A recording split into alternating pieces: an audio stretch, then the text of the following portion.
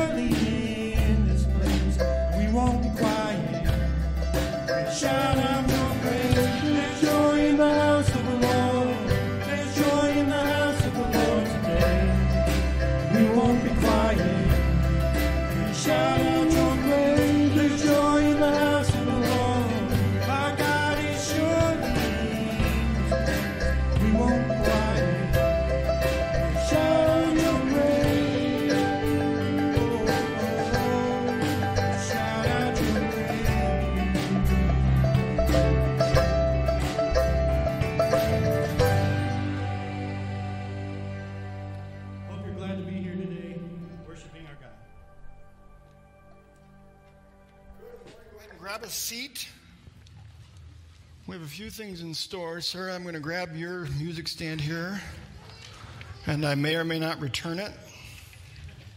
I may or may not steal all of your music, and you may or may not be mad at me later.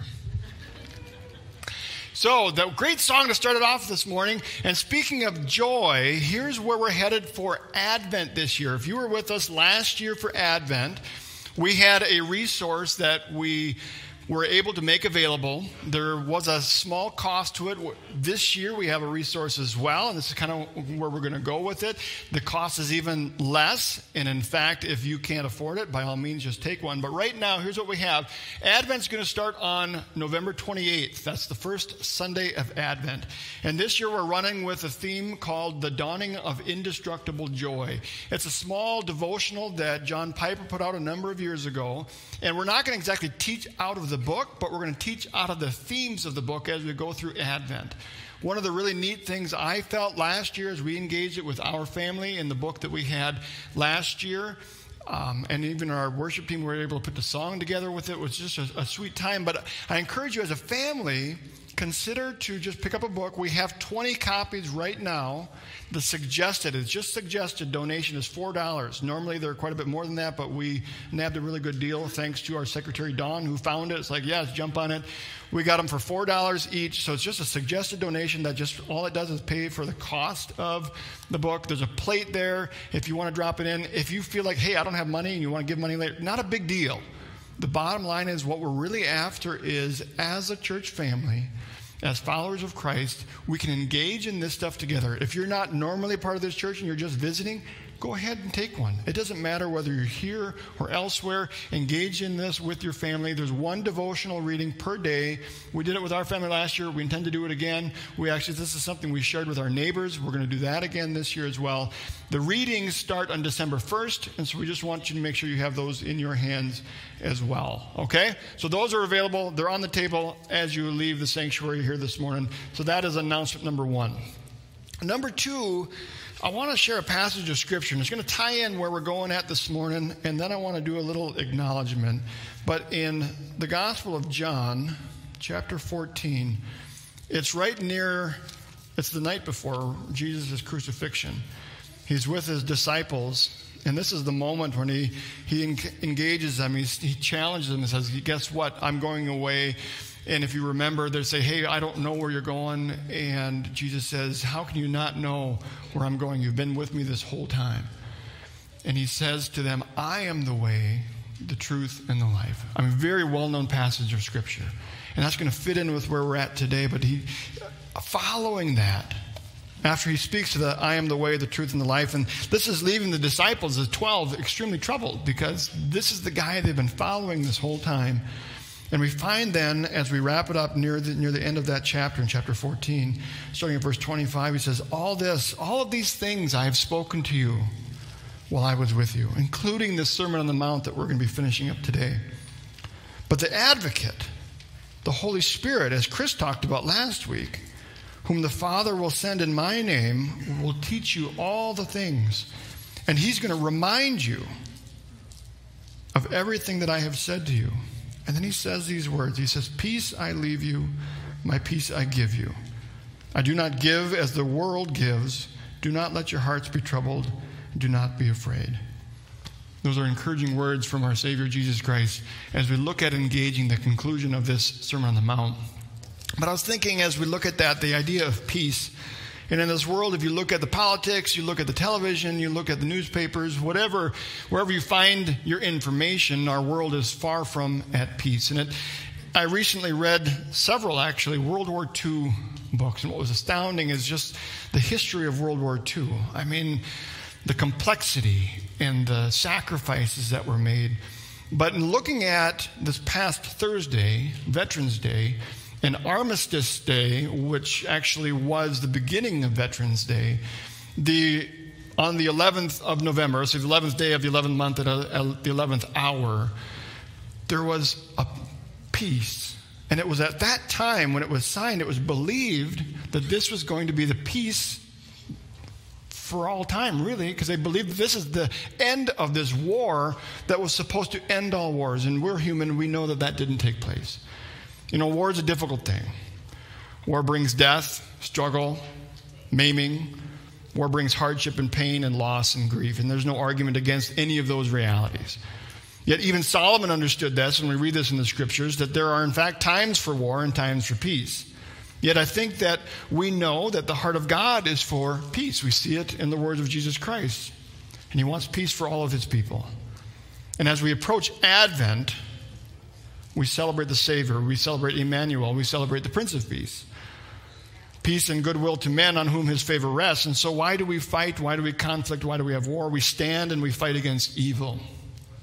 We do not fight for our own selfish gain as we look at the world conflicts, as followers of Christ in particular. We stand against Satan and evil, and we fight for the heart to bring peace.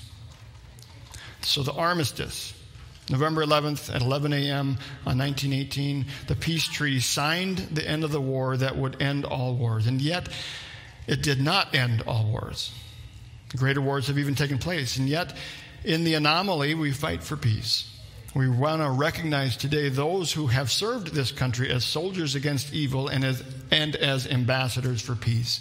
And thus, if you are a veteran, I would just ask that you stand and be recognized for your efforts as an ambassador for peace, as well as uh, a soldier against evil.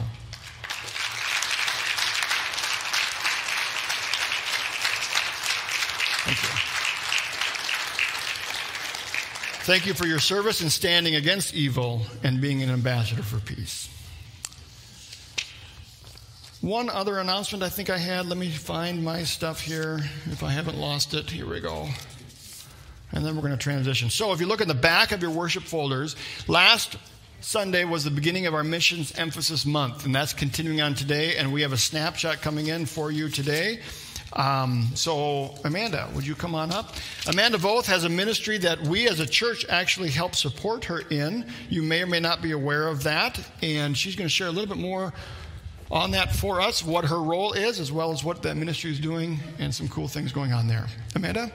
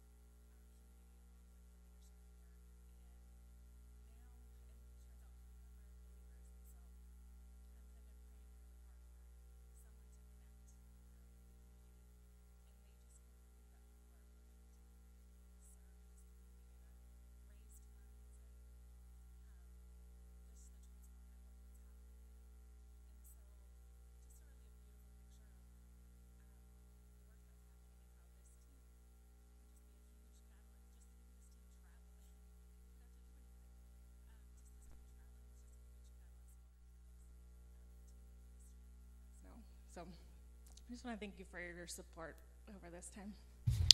Thank you, Amanda. So, one of the cool things with this is whether you realize it or not, we have a number of people who engage in ministry in a lot of different arms and avenues that are part of this local church.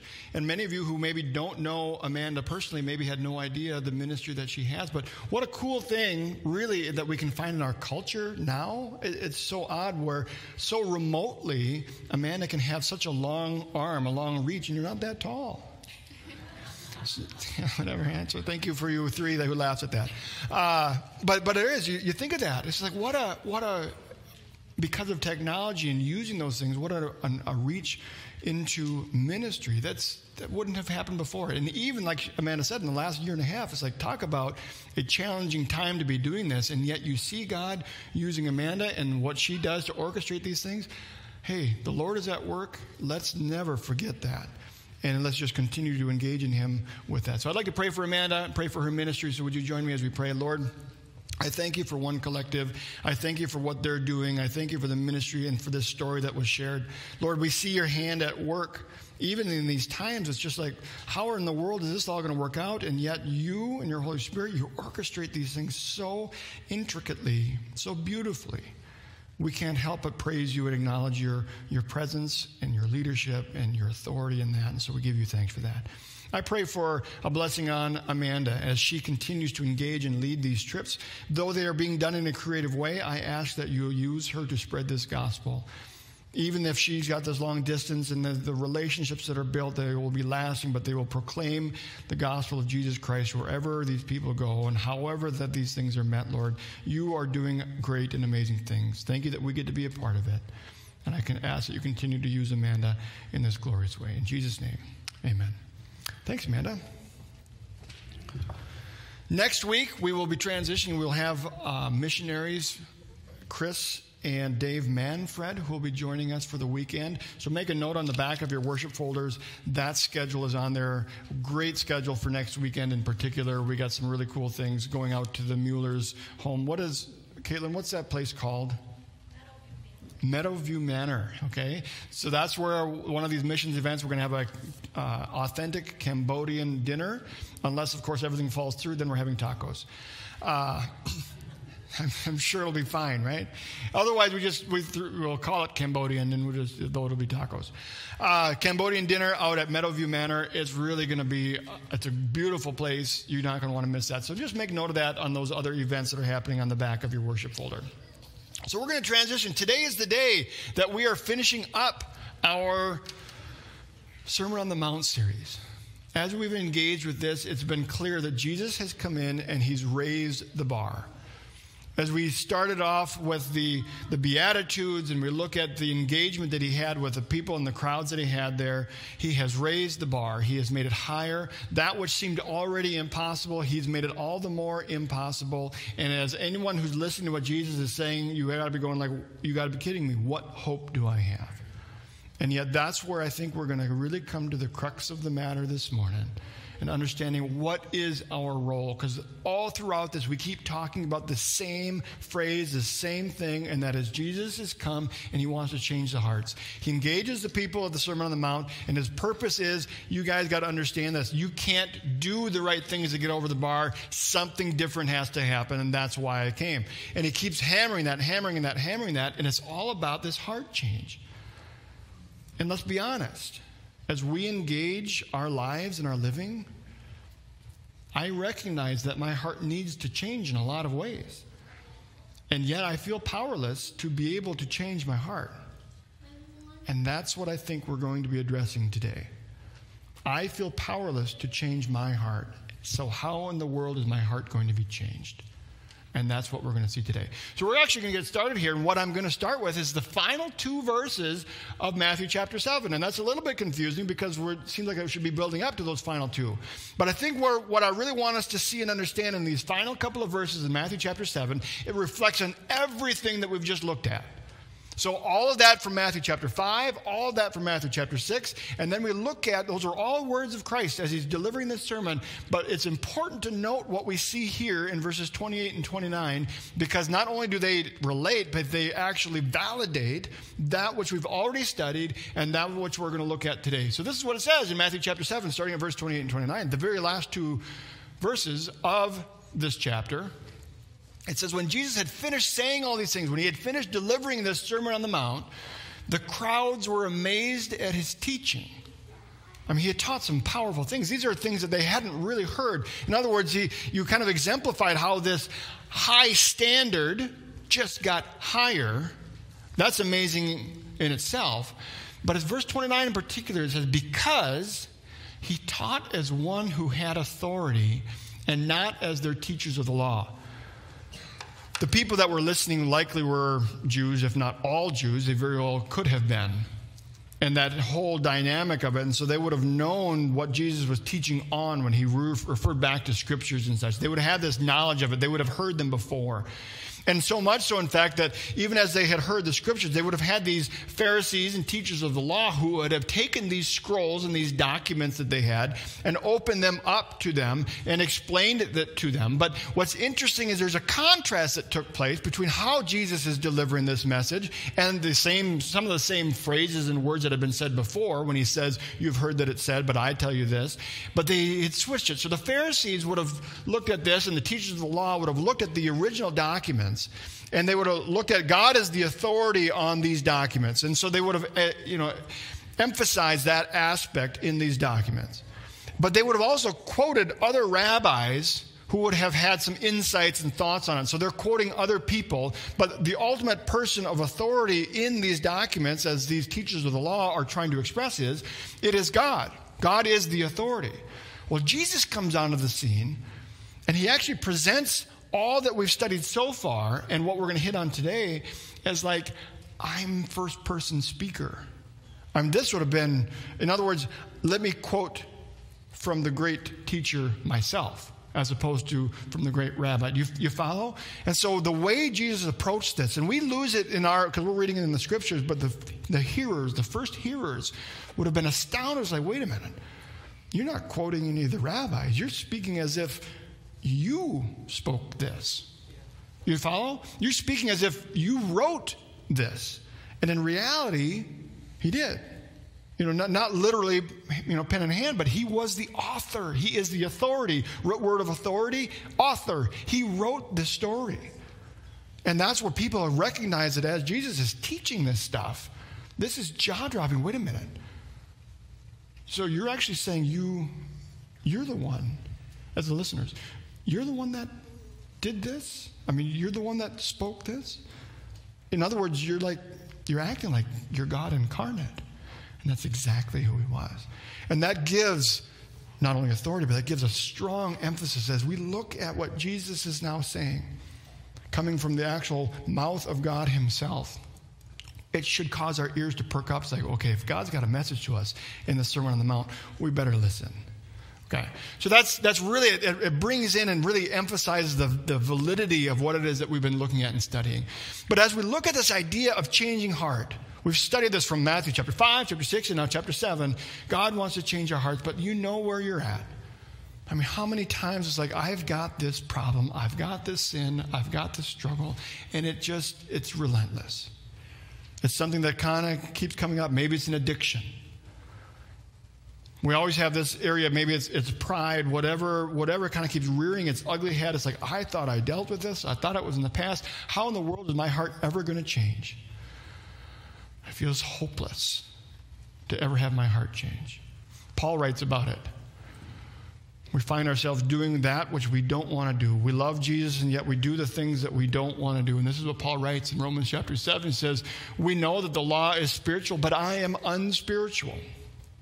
This law is this message from God. It's just as Jesus has spoken as the author. He said, this, this law that God has given to us, it's like, it's spiritual, but I am such a wreck. I can't even come close to clearing that bar. I can't even come close to matching what this law says. Sold as a slave to sin. I do not understand what I do. Can you relate to that? As you live this life and this struggling life, I can't understand why I do what I do. For what I want to do, I don't do. But that which I hate, those are the things that I do. And if I do what I don't want to do, I agree that the law is good. And as it is, it is no longer I myself who do it, but sin that is living in me. We're going to be talking about that sin aspect this morning. For I know that good itself does not dwell in me, that is in my sinful nature. For I have the desire to do what is good, but in my own strength, I added that part, I cannot carry it out. For I do not do the good that I want to do, but the evil I do not want to do. That is what I keep on doing. Now, if I do what I do not want to do, it is no longer I who do it, but it is sin that is living in me. Jesus wants to deal with the sin. Jesus came to deal with the sin. So I find that this law is at work. Although I want to do good, evil is right there within me. For in my inner being I delight in God's law, but I, can, I see another law at work in me, waging war against the law of my mind and making me a prisoner of the law of sin at work within me. What a wretched man I am. Who will rescue me from this body that is subject to death? In other words, I am so wretched, there's no way I can have the righteousness that Jesus just talked about in this Sermon on the Mount. There's no way that I can have that righteousness to get over that bar. But thanks be to God who delivers me through Jesus Christ our Lord. Thanks be to God because He's the one that can carry me over. And that's where we're going to get at today. So we're going to jump into it here. So this is what we find. We're going to have kind of these three sections in the rest of Matthew chapter 7. We're going to have this narrow and wide gate stuff. We've heard about that perhaps in the past. We're talking a little bit about that. And then we go into this wolf in sheep's clothing dynamic. And we're going to have, we're actually going to see that there's people that are intentionally trying to pull people away now, I think that there's an evil that's going on there. We'll talk more about that. And then he concludes this message with a parable. And it's an interesting parable because sometimes we take that parable to be a little bit more literal than maybe we should, but it points to a reality that's going to lead us to where it is that we need to go this morning. So here we go. We left it off before. Chris, Pastor Chris kind of led us through that, which was really good. Now we're up into verse 13. He says, Enter, Jesus says, Enter then through the narrow gate. For wide is the gate and broad is the road that leads to destruction, and many, many enter through it, but small is the gate and narrow the road that leads to life, and only a few find it. You know, we have this contrast to a narrow and a wide gate. The narrow gate is so small that basically you can barely fit through it. In other words, there's some people that just won't fit. Right? Don't take that too literal as far as my my description that, because some people will skew my words. It's not the intent. The intent of it is, is there's a narrow gate that few will find, and then there's a wide gate. But what's interesting, we look at our culture. What is the narrow gate? What is the wide gate? I think sometimes we, we like to think that the gate is maybe wider than we think. Jesus said himself, we already talked about that. There is only one way, and it says Jesus is the way, the truth, and the life. We looked at that. We know which gate is the way. And yet there's this wide gate that's attractive because the wide gate is very permissive. The wide gate is very allowing. Yeah, we have freedom in Christ, but there's an interesting aspect to it because the, the wide gate wants us to be convinced and believe that it doesn't matter what you believe as long as you believe it. That's the wide gate. It doesn't matter who you follow as long as you follow them wholeheartedly. That's the wide gate. Our culture is, let's be honest, is really trying to hammer and convince us that the gate is pretty wide. Jesus speaks opposite. We may be uncomfortable with that reality, but he speaks the opposite. He says the gate is actually quite narrow. I've tried to think of a good illustration of this. I really can't come up with anything aside from what Jesus is really laying out here. And he's going to go into it with, with what's coming up next. But this, the wide gate is easy. The wide gate justifies sin. The narrow gate says there's no room for you to get through and still hold on to your sin. Does that make sense? So, as if a rock, this, this will, for the time being, demonstrates my sin, okay? As I'm carrying the rock, the, the gate is just too narrow. I can't get through the gate and still hold on to my sin. Jesus has to do something with that. I have to let him do something with that. I can't fit through the narrow gate unless I let him do something with that. That's kind of the idea of the narrow gate. But we somehow we think that the wide gate allows me to go on through this and I get to keep this. I don't have to deal with that. Whatever that sin is, whether it's addiction and pride, I mean, there's so many. And I think we just, we tend to, say, I don't want to think about my sin because then I have to do something about it. I'm guilty of that. I think every one of us are because that's the wide gate, that's the easy way. So just understand the contrast of it.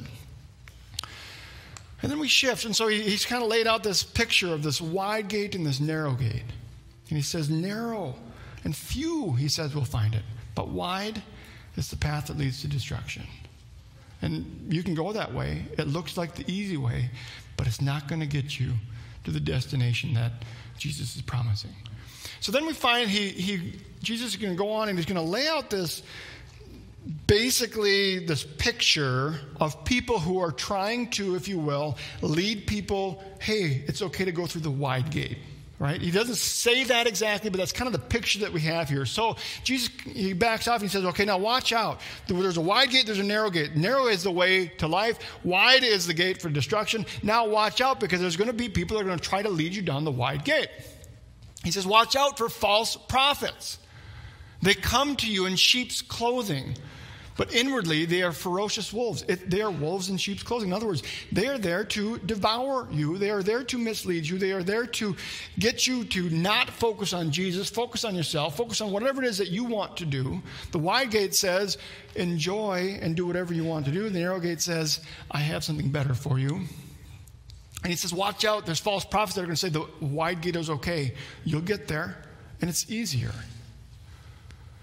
But it's just wolves in sheep's clothing. Jeremiah 23 talks about these false prophets, and this is the picture that we have. If you remember the, the uh, prophecy of Jeremiah, there was when, when Israel, excuse me, was exiled. They were exiled for 70 years, and there were some prophets who were saying, Don't worry about it.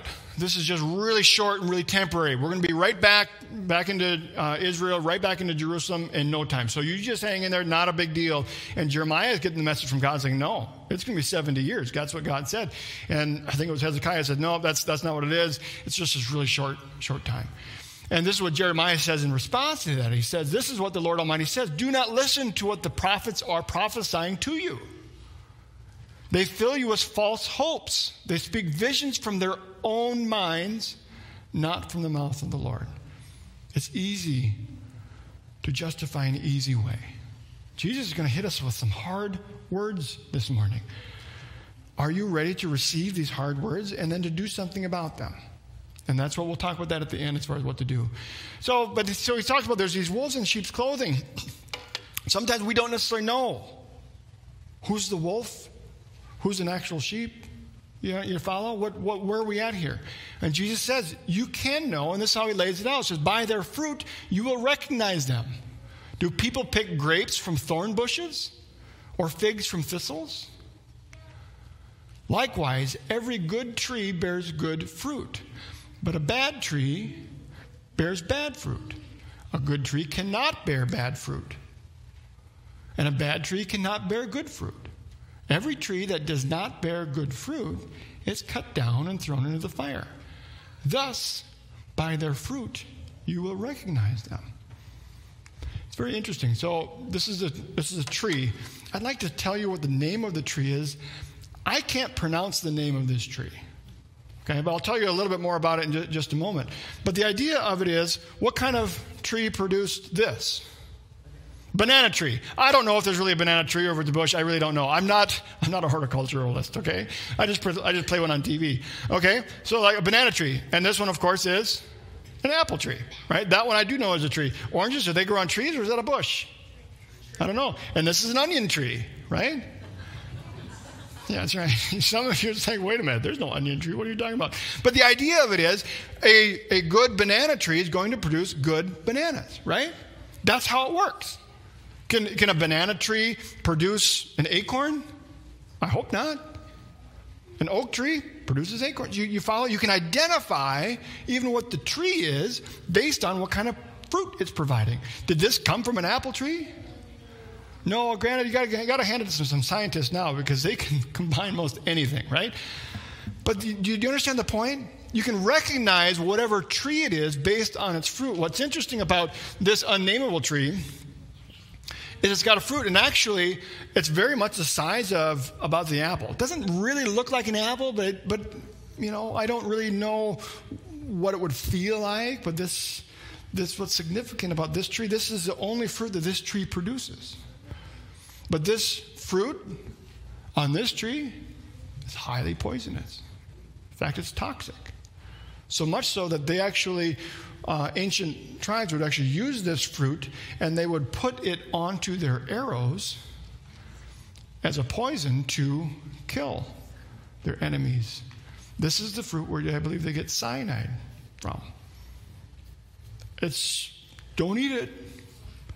But you follow? But by looking at it, it's like, oh, there's, there's fruit on that tree. Maybe it's good for consumption. That tree can only produce bad fruit. Likewise, an apple tree can only produce apples. Do you, do you, follow what Jesus is getting at? You can identify that which is true based on the fruit that it's providing. And we look at that, well, how do we know if it's good fruit? Unless we taste it, I might be dead. I think Jesus has given us the Holy Spirit to be able to identify that even as we go on. But that's, it's an important thing to note as we look at this. And here's a way to be able to decide and to, to differentiate. Powerful passage of Scripture. We look at this and we memorize parts of these passages of Scripture in this one here in Galatians 5. But do you really understand the depth of it? Because you got to ask yourself, as we engage this, we just looked at the wolves in sheep's clothing, and they will be known by the fruit that they bear. You, you, can identify. It's easy to say, okay, I can look at your fruit and your fruit. Okay, you're kind of a banana, you're kind of an apple, and no one here is a cyanide. Okay, I got to get that. But oftentimes, do we look at the kind of fruit that we're producing in a real honest light? Am I producing good fruit? And then, and then we fall in, and I'm getting a little bit ahead of myself. Then we fall in and say, okay, well, I got to do better. I got to, I got to produce better fruit. And when we fall into that, I think we're missing the point of what Jesus is really getting at. And we'll get to that. But in Galatians 5, it says, You, my brothers and sisters, you're called to be free, right? You're, you're called to, to not fall under the, the obligation of the law. You're called to this freedom. But do not use your freedom to indulge the flesh. Rather, serve one another humbly in love. For the entire law is fulfilled in keeping with this one command to love your neighbor as yourself. You want to try to identify the fruit in not only yourself but someone else. First and foremost, look at love. Does this person genuinely love the people around them? Do you? And I'm not saying, oh, yeah, I love everybody unless they cut me off on the road, then I'm angry. Come on. Do you love those who are around you? Do you express love to them? We kind of can sweep that off and say, oh, yeah, yeah. Do you? If you bite and devour each other, Watch out, or you will be destroyed by each other. What is that a picture of? It's a picture of bad fruit. If you bite and devour each other, I've watched it, you know, for, for many years, and whether it's in churches, in schools, Christian schools, whatever, especially, and it, you see it in the middle school, no matter what middle school you go at, anywhere. Okay, Bite, biting and devouring is quite literal, I think. But beyond that, I've watched it as believers in particular will bite and devour each other. That's heavy. That is not that is not the picture that Jesus has for his church. He wants to produce good fruit, and if it's producing bad fruit, it cannot stay. It has to be dealt with. And we're going to talk about that. So, he say, so I say, walk by the Spirit, and you will not gratify the desires of the flesh. In other words, Lord, I want to produce good fruit. I don't know how to produce good fruit. What do I have to do? He says, walk by the Spirit. I don't exactly know what that means. We'll get to that. For the flesh desires what is contrary to the spirit, and the spirit what is contrary to the flesh. Does this not echo what Paul had wrote in Romans chapter 7? They're in contrast to each other. They're in conflict with each other so that you are not to do whatever you want. But if you are led by the Spirit, you are not under the law. The acts of the flesh are obvious. In other words, the bad fruit is very visible, it's obvious. So don't justify it, but it's sexual immorality, impurity, and debauchery, idolatry, and witchcraft, hatred, discord, jealousy, fits of rage, selfish ambition. Boy, that covers a lot of it right there. Selfish ambition, does it not? Dissension, factions, and envy, and drunkenness, and orgies, and the like. I mean, that covers. If you have a sin, it's going to fit into one of those categories, kind of guaranteed. And if you think you don't have any of those categories, I think you're, you're sadly mistaken. We look back at what Paul said, what a wretched man I am. There I am. I know that in my life there is bad fruit that is produced. It sickens me, and yet it's there. It appalls me, and yet sometimes I feel like, what else can I do? And we'll get to that. I warn you, as I did before, that those who live like this will not inherit the kingdom of God. That fits really well with what Jesus is talking about here in the Sermon on the Mount. But and this is the part we have all of our kids memorized because we all want them to be kind and gracious and all that stuff, right? So then we can we can make them memorize it, and then we can say when they've been wrong, when they've been unkind, we say, "Well, now what's the fruit of the spirit?" And then they will regurgitate it back to them. Now, is that how you're acting? And they will say, "Yes," and they'll say, "No, that's not how you're acting." Then you have to correct them, and then you get on to the say, "All the whole hap- uh, family is happy." But the fruit of the spirit is love, first and foremost. It is joy. It is peace patience or forbearance, kindness, goodness, faithfulness, gentleness, and self control. That's good fruit. If that's being produced in you, you're not doing it. If that's being produced in you, that's the Holy Spirit producing that in you. That is so important to note. Bad fruit comes from when we produce things on our own. Good fruit comes when the Spirit is producing it within us. I think that's an important distinction. Against such things, there is no law. Those who belong to Christ have crucified the flesh with its passions and its desires. Since we live by the Spirit, let us keep in step with the Spirit. Let us not become conceited, provoking, or envying each other. And then Jesus gives these very challenging words. These are uncomfortable words, but it fits with what he's talking about with these wolves in sheep's clothing. Hear this. Not everyone who says to me, Lord, Lord, will enter the kingdom of heaven, but only the one who does the will of my Father who is in heaven. And stop right there because we look at that sometimes like, wait a minute. I know that there's so many times I haven't done God's will. Am I ruined? Am I wrecked? My answer is no.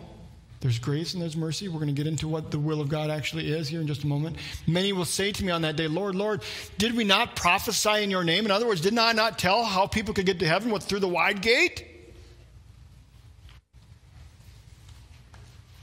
Did I not drive out demons in your name and perform many miracles? Did, didn't I do that? He says, Then I will tell them plainly, I didn't know you. And Chris touched on this last week briefly regarding to the Holy Spirit as well. And he says, Away from me, you evil, evildoers. Do you know Christ? Do you have a relationship with him? Do you know him? And then he, he concludes this message with this parable. And then we'll kind of wrap it up here just afterwards. But in this parable, then he says, So therefore, anyone who hears all these things that I've been saying in the Sermon on the Mount, if you've heard this message that I put out there, including this idea of being careful of the wolves in sheep's clothing, he says, Who hears these words of mine and puts them into practice is like a wise man who builds his house on a rock. So everyone who would have heard this message would have known, yes, it's wise to build your house on a sturdy foundation. It's, that's a good idea. And so everyone who heard that would have recognized, oh, yeah, that shows great wisdom. He's not calling out some of them as being foolish because they've built their house on sand, which sometimes we think that maybe that's where he's going. That's not where he's going. He's exemplifying this, oh, yeah, I get what you're saying there. If you take these words that I have taught you, you put them into practice, guess what? That is a wise decision, and it's like building your house on a firm foundation, on the rock. The rains will come down, the streams will, will rise, and the winds blow and beat against the house, and yet it will not fall because it had the foundation that was on the rock. In other words, if you look at what Jesus says, who is the authority, it's like, okay, I want to follow what it is that he is saying. I want to trust him in that way. I know that that is broad. It's like this firm foundation. Building that's like, okay, I have something that can I can stand on. But everyone who hears these words of mine and does not put them into practice is like a foolish man saying, the gate is wide. Oh, this is such a sandy spot. I'm going to build my house here because it looks really, really good. I know Jesus said this, but I really want to live this way. I know Jesus said that's not a good way to live, but guess what? I really enjoy it. I'd rather stay here. I'm going to just continue down this path instead. It's more comfortable, it's easier. I don't have to change anything. I can justify my heart's presence in that way. Do you, do you follow? It's like hearing what Jesus says, like, yeah, I believe what you say, but it doesn't apply to me. It's like a man who builds his house in the sand. The rains came down and the streams rose and the winds blew and beat against the house, and that fell with a great crash. So, what is it that we do? We've looked at Jesus. He raised the bar higher. What's our responsibility? If Jesus is the one that changes our hearts, what is my role? What do I do? He's got to do this work. There's a word that comes to my mind, and it's repent. Jesus, throughout the scriptures, calls mankind to repent. Remember in Revelation chapter 3, as we went through it, Remember, therefore, what you have received and heard, hold it fast and repent. But if you do not wake up, I will come like a thief, and you will not know at what time I will come. I've used the illustration before.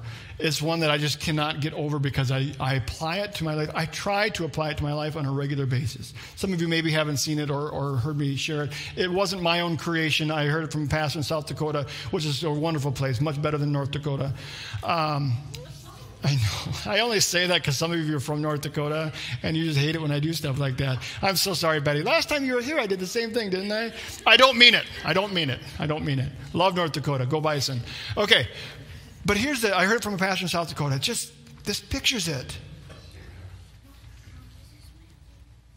In our life, you know, you, you, you tend the ground if you're a farmer, any farming background. If you grew up in the Midwest, you know what I'm talking about because you see it on your dirt roads, okay?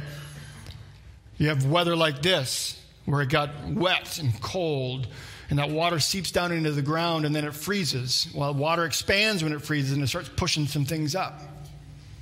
You see it a lot of times in the spring where all that winter water and kind of settled in there in spring, and then you keep getting that, that pushing up. That water sinks down lower and it pushes up, it pushes up, it pushes up, and pretty soon, farmers in their field every spring I remember my friends in high school always talking about, oh, we're going to go pick rock this weekend. I'm thinking, at you. I'm not because I don't have a farm, okay? And then when I did, I got paid for it, which was very seldom. You get one penny a rock. Sweet, sweet. Whatever, I made that up. But the idea of it is the water, it just keeps rising these things up. You can't tell me you live your life. It's like, there's no rocks in my life. I can walk through that narrow gate any time I want. Uh-uh. As I get up every morning, I find that the Lord, I wake up, it's like, seriously? You're bringing something else to my mind? Now I'm going to deal with it? And some of these rocks are heavy. And so to, to pass through the narrow gate, it feels like somehow I think that if I, this is all I can carry. I had Brody take the two big ones here and help me out earlier. But like as we're going through life, it's like if I'm going to live this life and deal with my sin on my own, this is what I'm doing. I'm carrying them on my own. And that's if the Lord's brought them to my attention. Sometimes I may have a big bag of rocks trailing behind me and I don't even realize that they're there. Or I try to pretend that they're not and they just weigh you down. But as we go through this life, these rocks keep popping up. And Jesus is basically saying, This is sin in your life. What are you going to do with it? I kind of like it. It's weighing you down. I know, but it's really hard to give up. If this one's kind of pretty, what are you talking about? It's gray and ugly. I know, but it's really, I'm really attached to it. What are you going to do with it? And then somehow we think that, well, maybe if I just, you know, I can't really, I'll, I'll switch it, I'll hold it in this hand for a while. You know, that, that's our effort to try to deal with it to try to quit, to try to try to deal with our addiction. Well, I'll just I'll switch hands for a while. Now I'll, I'll be I'll be okay. I can go a few more steps. And we still find ourselves getting tired. I can't do it. So what does Jesus ask you to do? Here's the sin in your life. What are you going to do with it? There's a word. It's repent. You know, the word repent, basically, it refers to, and I know it's, it's been talked a lot, it, it's a 180. And I hear that, I understand that, and that, that's, that's not wrong. It's true. It's like you're heading in this direction, it's like you repent, you actually turn and go in this direction. I think there's an aspect to that, but we look at that as being a one time and one and done. There, I've done that. But as the Lord brings up sin in your life, as these things kind of keep popping up from season to season, He says in constant efforts to help you hey, you still got this. Will you repent of it? And when we repent, like they do in South Dakota, they take the rock, they lay it in this pen, usually a cage, that's oftentimes at the corner of their field. And it holds up the fence. You know what I mean? Got this big pillars almost of rocks. It's like a big pile. Sometimes my neighbor growing up, he was a farmer. He had a huge pile of rocks right in the middle of his field. Why he put it in the middle, I don't know, but that's what he did. Huge pile of rocks. Every spring it would get bigger. That's where we put the rocks. That's where we put the rocks. That's where we put the rocks. To repent says, hey, you've got sin in your life. He's shown it to me. All right. I need to get my eyes off the sin, do my 180, and get my eyes onto Him. Because what does he want? Does he want me to produce a life of rocks? Or does he want me to produce a life of fruit? I know it's an onion, it's a vegetable. Life of fruit. I'm not that dense, okay? The man held an onion and then he said it was a fruit. He's a fruit. Do you see the picture? Jesus doesn't want us to walk around carrying a bunch of rocks. You can't get through the narrow gate that way. It's not our work, but we have a responsibility. The heart change isn't our work, but we have a responsibility. My responsibility is when the Lord says, Hey, you've got sin in your life, my responsibility isn't to say, Yeah, but I'm going to keep it. I'm going to justify it. My responsibility says, You know, you're right. I'm going to repent of that. I'm going to get my eyes back on you. That is true for everyone. Whether you've been a follower of Christ for a day, whether you've been a follower of Christ for 50 years, you have regular times when you need to say, Lord, I'm still dealing with this. I'll tell you, pride. If any one of us goes through a year without pride, how'd you do that? You're dead? Did that what you said? You're dead. That's good. Do you see? So the challenge of it is, or the question of it is, I want the Lord to produce good fruit in my life.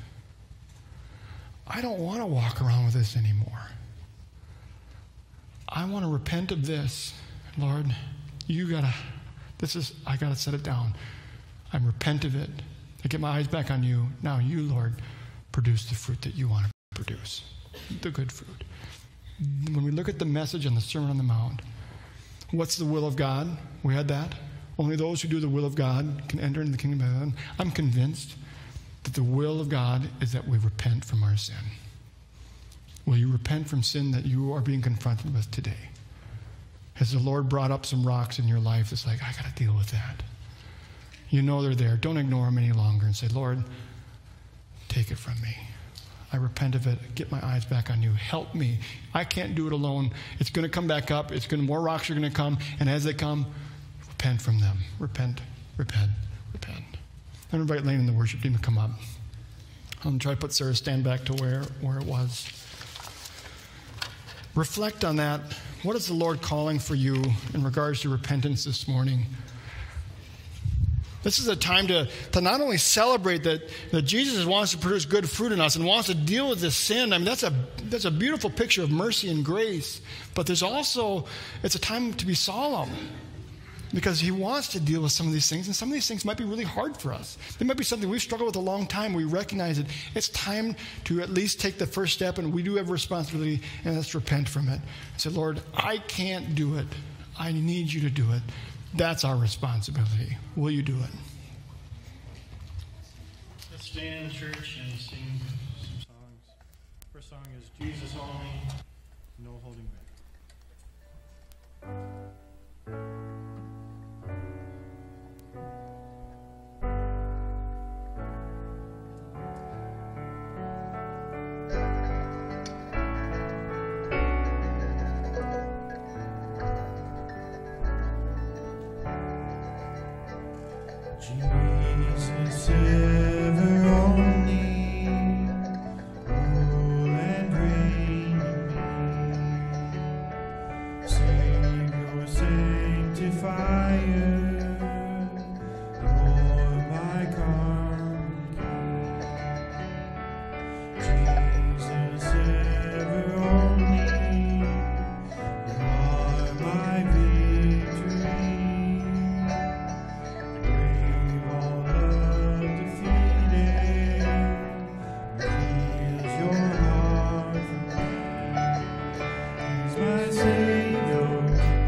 my healer, my power in our life now.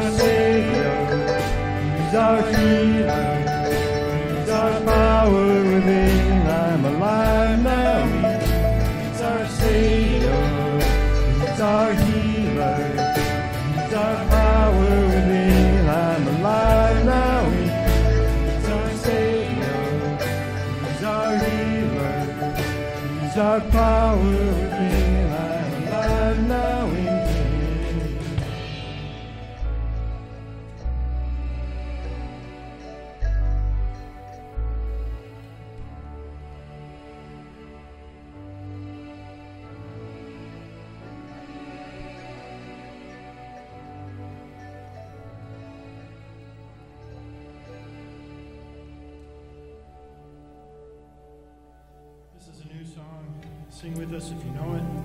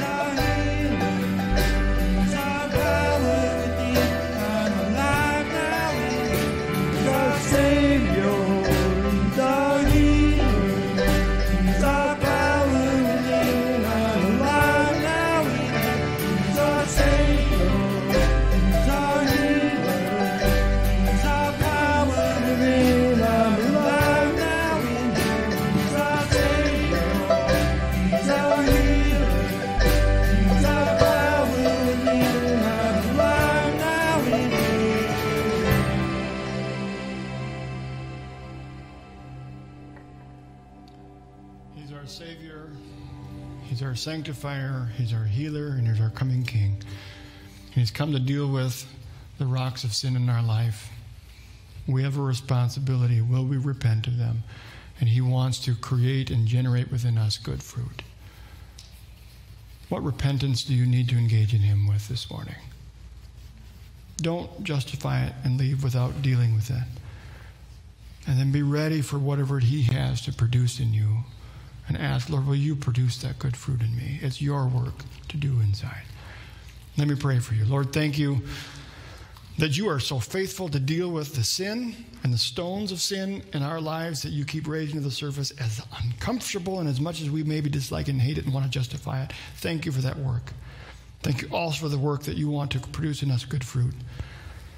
Lord, our response has to be submitting to you and recognizing that you are the only one who has the power to be able to deal with our sin and create in us that good fruit. You are the only one who ever got over the bar, and you're the only way for us to get over that bar as well.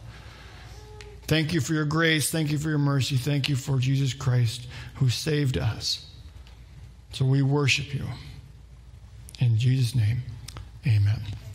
I encourage you to stay, connect with one another. The books are out on the back table. Again, suggested donation of $4 will cover the cost of the book. Take one for your own family. If you don't get one today, we'll order some more, but I'll need to know by Tuesday at noon.